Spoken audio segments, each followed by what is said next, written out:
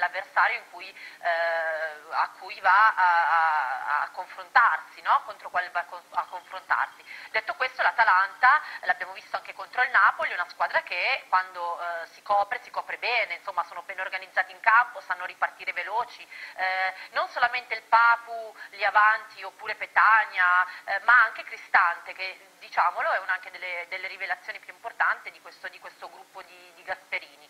Eh, detto questo, insomma, non, io non do proprio per scontata la vittoria della Juventus, io do un bel pareggino proprio fatto bene. Ma c'è il ritorno. Eh, c'è il ritorno, però in questa partita io do il pareggio perché vincere a Bergamo non è facile, ricordiamo. Marica, un attimo solo, io tornerei da Giordano per leggerla insieme a voi l'11 titolare e poi voglio interpellare Grazie, con queste due bombe stasera no, ci, no,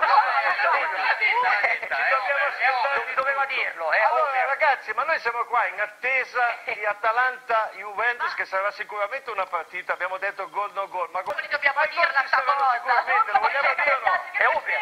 Over, over in tutti i sensi, dai. Le bombe devono per il Napoli, non per le altre squadre. Fatemi sentire, fatemi sentire Gianluca, voglio sentire sul discorso del, del, momento magari non brillantissimo della Juve. Cioè, io penso che ci sia un motivo, la Juve ha calibrato, come dicevamo, anche nel... L'Inter, però devo dire, l'Inter si deve dare un po' una svegliata in quasi tutti i reparti, non è il problema, arriva Pastore e risolve i, i problemi dell'Inter, l'Inter ha problemi sulle facce, a centrocampo, ha problemi di... Eh, di lentezza anche nella manovra, abbiamo visto come il gioco è prevedibile, come comunque anche squadre mediocri riescono a mettere in difficoltà questa squadra. Per cui, voglio dire, eh, non è un Inter brillante, cioè non pensiamo che arriva Pastore e risolve i problemi dell'Inter. Marica, che voglio devo dire. stoppare perché il Napoli... Ha ragione, questo...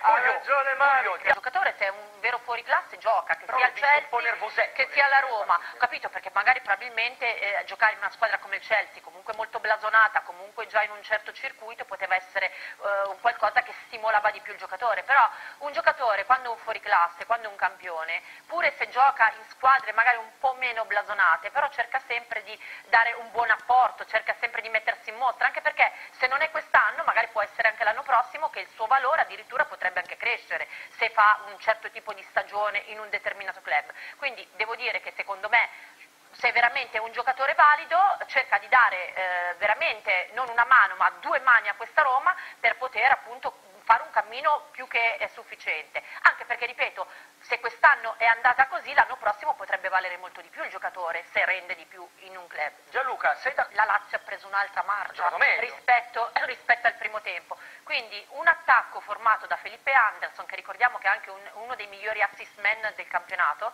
più il, il contributo di Immobile lì davanti, secondo me è un'altra un Lazio. Devo dire che il Milan mi ha dato tanta fiducia perché abbiamo visto un altro Milan eh, in campionato, però può andare bene una volta. La Lazio è una squadra che sta brillando. Per cui su punti? Io sulla Lazio, vince la Lazio. Vince la Lazio, siamo a due. Fulvio, prima... Fulvio, stasera ce l'ha tu con mio, con mio abito. Anche, allora, ma sono un entusiasta, tu che dici uno. Due, ma è, è, giusto che sia così. Secondo Marica, lo capite, è un over anche Milan-Lazio, è tutto over per Marica, certo. l'avete capito. Ovviamente ce ne sono altre più forti, però voglio dire confronto al Tottenham io do per vincente lo United.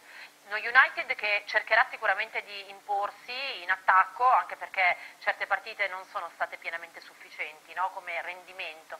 Quindi eh, io penso che il, vincerà lo United non di tanto, eh, io penso un 1-0, eh, un 2-1, ecco, non, non di più. Comunque se la giocherà fino alla fine. Tottenham non mi convince più di tanto. Tottenham che non... Dei progetti che tu vai a, a, a, tagliare nel momento in cui nascono. Cioè adesso ha preso un po' confidenza Gattuso con la squadra, adesso sta avendo qualche risultato positivo. Quindi non vedo perché tu a un certo momento vuoi togliere questo progetto Gattuso, prendere Conte, eh, adesso poi bisogna ricominciare da capo tutto quanto. Insomma, questa squadra è in balia però degli allenatori, degli schemi, ci vuole il doppio del tempo per unificare il gruppo. Quando invece abbiamo visto che con Gattuso qualcosina, non tanto, eh, perché non, non sta facendo miracoli,